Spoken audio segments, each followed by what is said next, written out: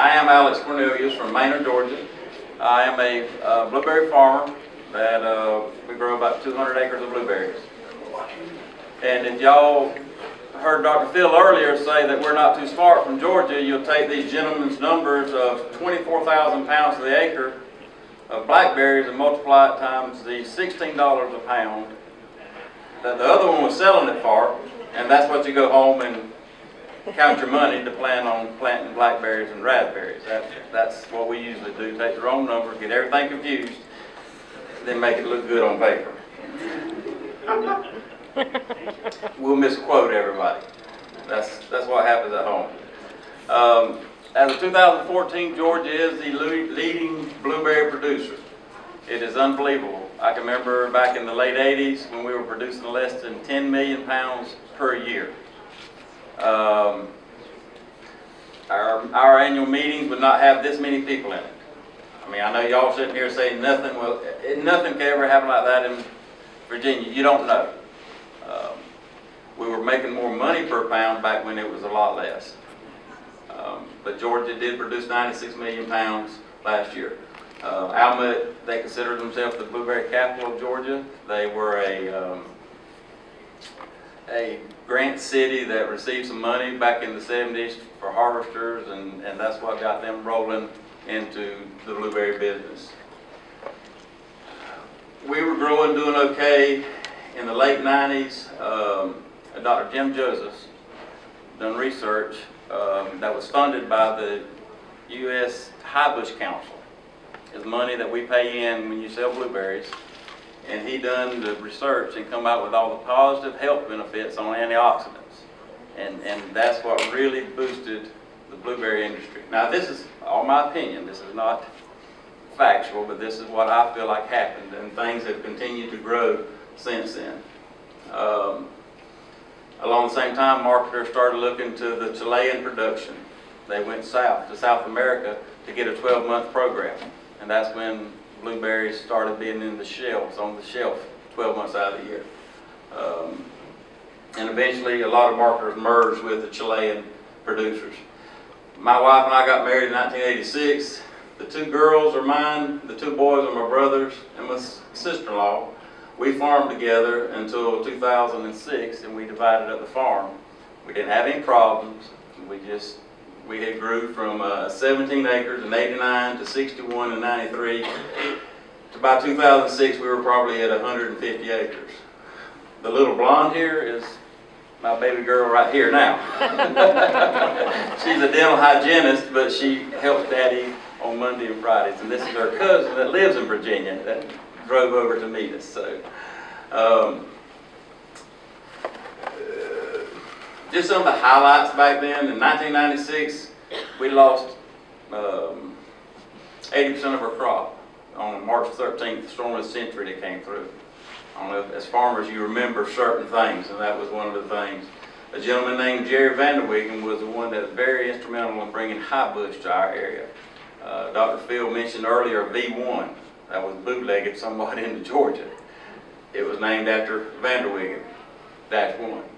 But some of those little things, looking back now, 30 years ago, started the ball rolling. We realized that we could produce berries early in the year. In the 90s, you couldn't borrow money from bankers, um, not for farming. That you, you, it just didn't happen. The um, high bush and rabbit eyes were doing well. By the years 2003, 2006, the bankers would come out and they would loan you money. Three years, all you had to do is pay the interest and then the fourth year start paying the principal. So that put a lot of people in the blueberry business, shouldn't have been in the blueberry business. I mean, that's, you have to think about that. Sometimes people, if you can get money, you're doing, that doesn't mean you should. Um, a hard freeze on Easter morning, 2007, on April 8th, we lost about 75% of our crop in 07. Um, 2008, we came back with a big crop, but the price had gotten cheap. But we survived. Um, around 2012, some of the marketing companies was are producing a ready-to-eat product that was put in McDonald's, a blueberry and McDonald's oatmeal. Now there are blueberries ready to eat in packets in Starbucks, and I'm not sure if y'all have Chick-fil-A's in this area. Yes, sir. If you go to Chick-fil-A's, they've replaced the grapes with blueberries. And that's, that's all good stuff. The owner of Chick-fil-A is from Georgia and he is a, he's a blueberry fanatic. He loves it. And everybody's looking at health benefits. Um, reason for plantings, same question as asked a while ago, we, um, is natural to our soil. Um, we're about four hours south of Atlanta, hour north of Jacksonville, Florida. If we had it on the map, there's 500,000 acres there called the Okefenokee Swamp. And we live just about 15 miles north of that. Um, land prep, and Dr. Rafie had asked me to speak on what we do at our nursery farm. We do this type of land clearing. I guess to get to know us, this is what all we've done to get where our nursery's at. The, um, when you're clearing up your land, uh, Dr. Eric had touched on everything from the planting on, but he didn't touch on the land clearing. Um, traditional larger acreage, or four acres or two acres, you clear the stumps. You don't want to burn that stuff on site. You don't want the ashes. If you dig them, you haul them out to the edge. If you do burn it on site, pick your ashes up and get them out of there. Um, the grinding method is something that started around the early 2000s. And um, this is us actually taking out some old established blueberries. But that machine will go through a stump forest. Uh, we have a lot of plantations where they're planted 12 feet apart, six footer in a row, and that machine will, will straddle the stump row and grind and incorporate everything into the dirt. And when you get through, you're ready to start harrowing. We come along behind it with the hairs and uh, large leveling box blade or plane. You don't want to move too much topsoil. I mean, when we go to level, and you guys, y'all, you're different up here. When I say we're flat, I mean we're we're flat. Yeah, I don't, when y'all, you got the terrace, and I don't know how y'all stay, keep from washing away, but anyhow. We want everything level, don't want to move a lot of the topsoil. And somebody earlier today mentioned we started using GPS to lay off the roads. But we've got neighbors that's farmers, and we can get their tractors and work out, swap out deals, and, and you can lay those rows off within an inch of each other.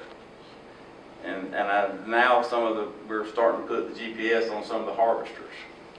So, um, our high bush spacing is generally nine to eleven feet, rabbit eyes ten to twelve.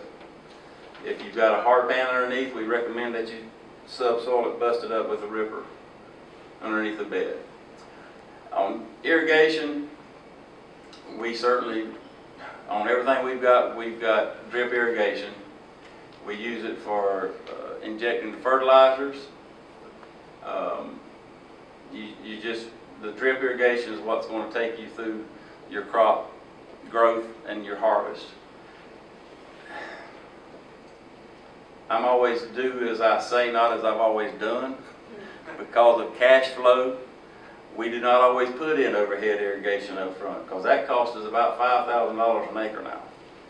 Uh, if you do it right, from the, if you include pumps or wells or ponds or whatever. Um, it is cheaper to do it up front.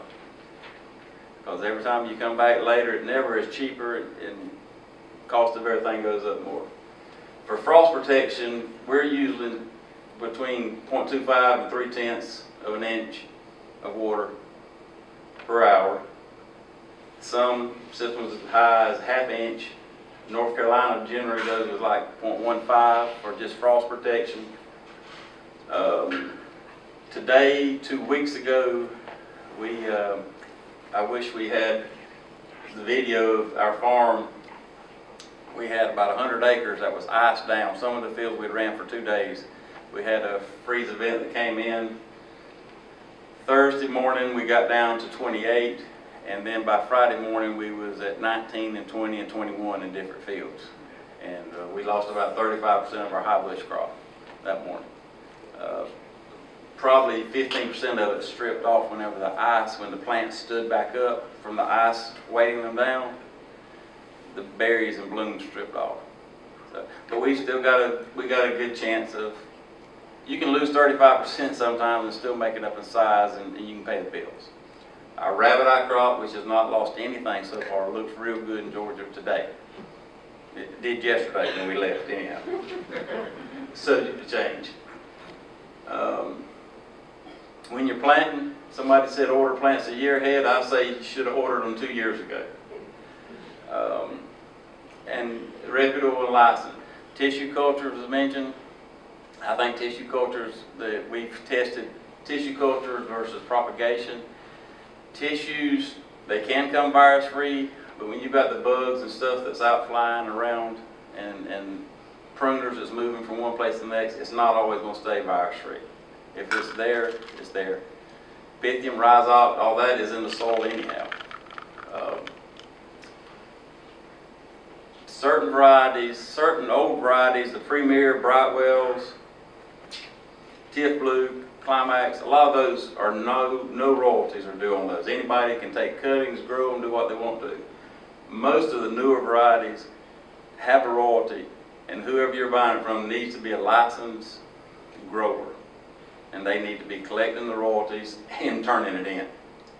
Um, And this is probably Greek to a lot of y'all, but if you're buying plants, um, all the new University of Georgia varieties, all the new Florida varieties, there is a royalty that goes with every plant that goes back to the universities to help fund that system so we can get more plants. It's a good thing.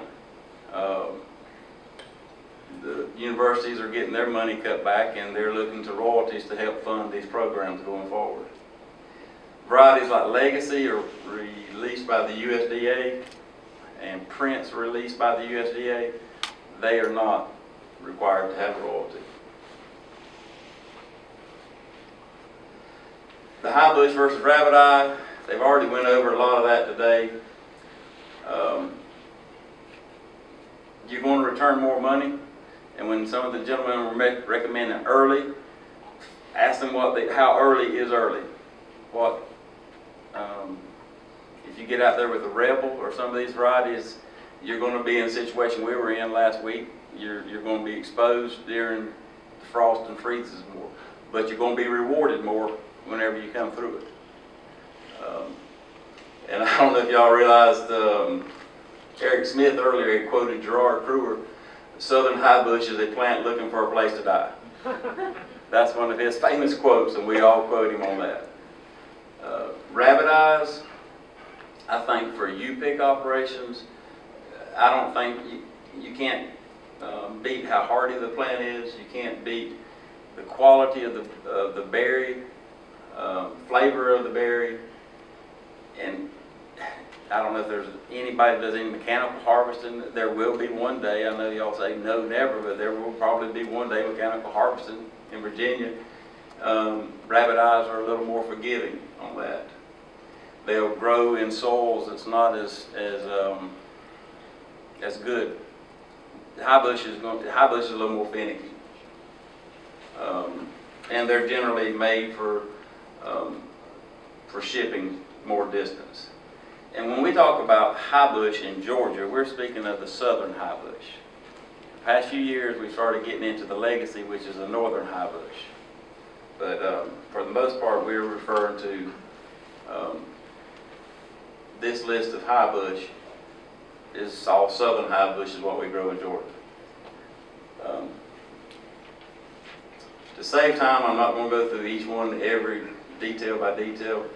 Camellia is one that's really showed out in the past few years. It blooms later and been having a real heavy production.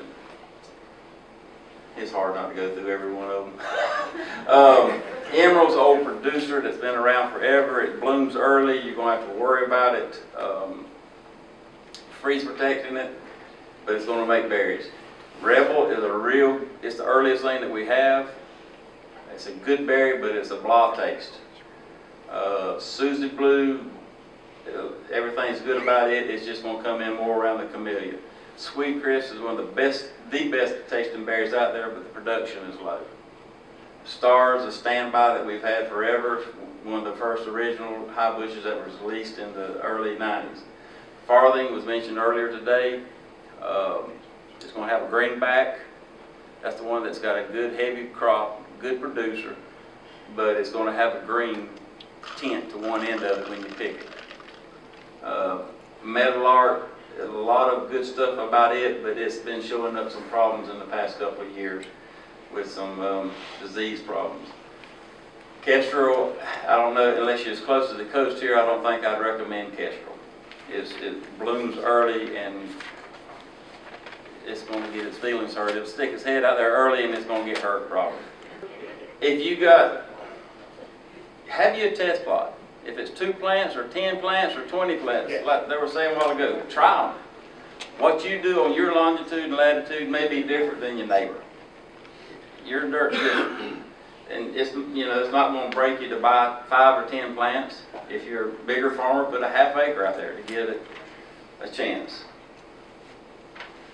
Um, rabbit eye, Alapaha, or anybody, does anybody grow rabbit eyes? Or y'all growing a lot of the early ones, or any of these? Brightwell, Powder Blue, Premier. Okay, so y'all are familiar with a lot of the, the ones that we've had, the good standbys. The newer ones are the Alapaha, it's a heavy producer, but it's a small berry. Austin, uh, Austin has been a good It'll come back to Uh. Austin has been a good producer. It, it makes a nice sized berry, but it, I really wouldn't plant it because it's got the reputation for being seedy and the skin being thick. I don't think that it's necessarily fair to Austin, but that's, that's what happened.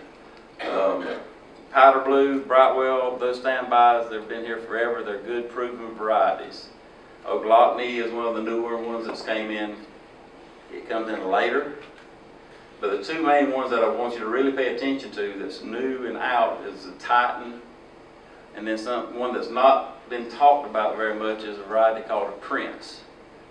And Prince was released, released by um, USDA out of Poplarville, Mississippi, under that program. Um, Titan, nothing is ever bad said about Titan, but it will rain split. We're just hoping it's gonna come in in a time in Georgia that it's not raining as much as, the last week of May, we're less apt to have rains as we are the first, second, third week of June.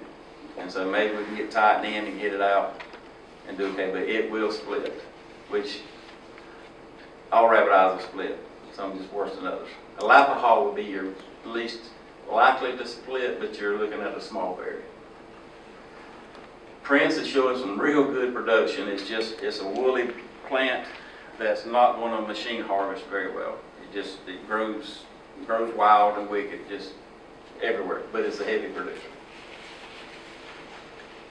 Um, the reason we started our nursery, my brother and I were together, we couldn't find the plants that we wanted. Um, first few years, we grew our own plants, and then we started selling to our neighbors. Then we started taking on additional orders, and in 2009, we hired a, a- we were very blessed, that a man named Nathan Baldwin came to work at- with us, a young man.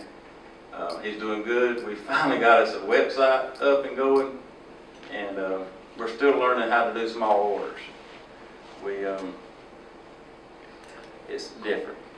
It's, it's, it's different. It, we, we do pretty good with uh, growing our blueberries and our packing facility and all, and growing our plants. But the new challenge is taking care of the smaller orders with the website and everything that we've got up and going. Uh, This is the posted prices that we put out there. Um, And if you go to our website, corneliusfarms.com, they're all listed on there. Um, And I'm gonna get my niece and my daughter to hand out a little card that we found is very, very helpful. Um, I don't know, how many of y'all are familiar with the stages one through seven? When somebody says stage one of a blueberry or stage two, if you're talking with one of the doctors or somebody about um, when to spray or what bloom stage you're in. This will help, help explain it. Um, In Georgia, they're constantly referring to different stages. You want? Yeah, I'll get this. Um, And also at the bottom of this, I usually keep one of these on the pickup. University of Georgia used to produce this, and I kept it on my pickup truck all the time. And I thought it's a, it's a good way to advertise, get our name out, and this is a handy little sheet. If you call Dr. Rafie and he goes asking you what stage of bloom are you in, you can look on here and you can go to talking and nailing it down to the same, same general idea. Um, y'all are smarter here in Virginia, and y'all can communicate over the phone with the hands telling him which blooms are here and there and how big they are, better than what we can, so. And this little tiny, no, they're small, they're not real big. So, so, and if he'll get him one, and this is on the website, but I will tell you, like, North Carolina and parts of Michigan, some, everybody does not use this exact same thing. We do, and I've talked to Virginia, and everybody's on the same thing, page with that. If you went to North Carolina, some of their stages in the middle would be a little bit different. That's kind of like North Carolina. That's North Carolina, okay. Right, and I am not a speaker, but Lord, thank you, I made it, so.